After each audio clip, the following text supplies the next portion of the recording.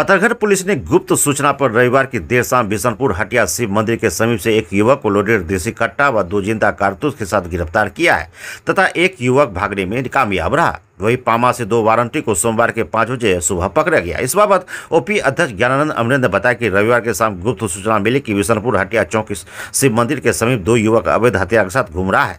सूचना के आधार पर त्वरित कार्रवाई करते हुए सैनी अनिरुद्ध यादव पुलिस बल के साथ बिशनपुर हटिया शिव मंदिर के समीप भेजा गया, जहाँ पुलिस की गाड़ी देख दोनों युवक भागने लगा, जिसमें खदेड़ कर एक युवक को पकड़ा गया, जहाँ पत्रघट पुलिस द्वारा पूछताछ के दौरान गिरफ़्तार युवक ने अपना नाम बिशनपुर पंचायत के वार्ड नंबर चार निवासी मुकेश कुमार, पिता विपिन यादव बताया है, जिसके कमर से एक लोडेड देसी कट्टा व पेंट की जेब से दो ज़िंदा कारतूस बरामद हुआ।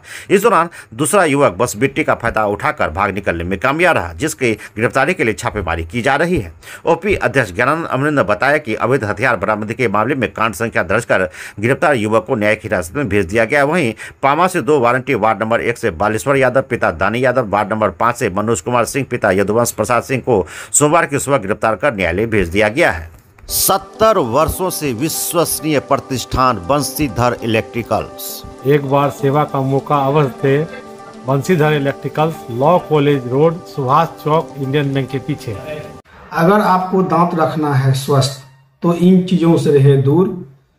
चौमिन पिज़्ज़ा बर्गर जितने भी स्टिकी चीज़ है कृपया उनसे दूर।